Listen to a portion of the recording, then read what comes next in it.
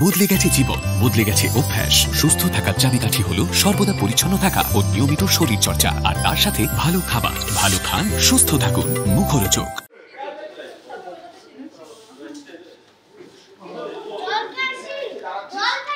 হয়ে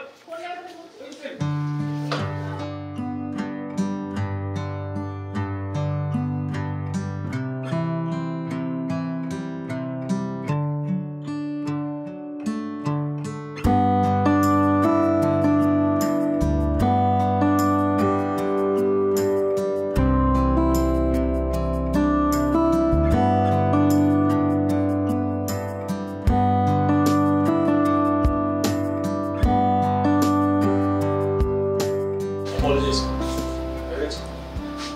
তো একই কথার জন্য সরি কেন বলব বারবার মিঠি, তুমি না বড্ড বেশি কথা আমার মনে হয় তুমি এখন সাপকে গিয়ে স্কুলের জন্য রেডি করো।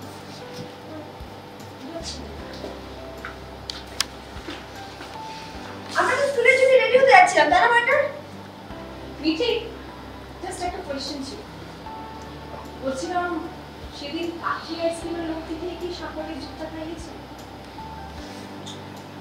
Olha sabe o olho Bush? Bush!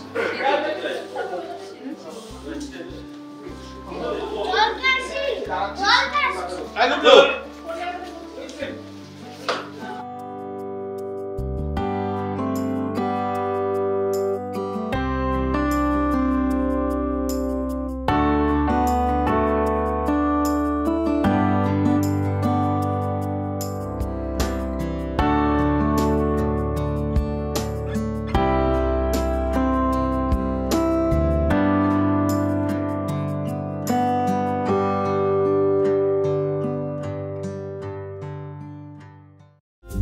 টলিপাড়ার latest news আর এক্সক্লুসিভ ভিডিওর সঙ্গে আপডেট থাকতে এখনই সাবস্ক্রাইব করুন আমাদের ইউটিউব চ্যানেল বেল আইকনে ক্লিক করতে ভুলবেন না জানো